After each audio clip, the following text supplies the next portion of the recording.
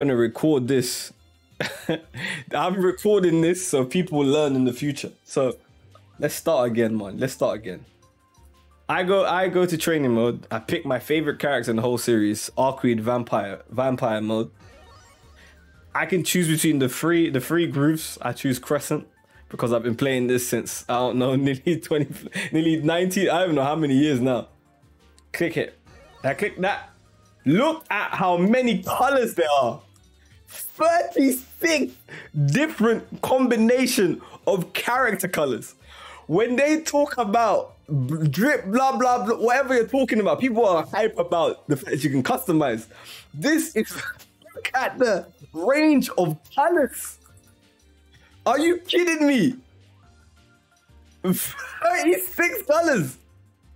Look at these colors, man.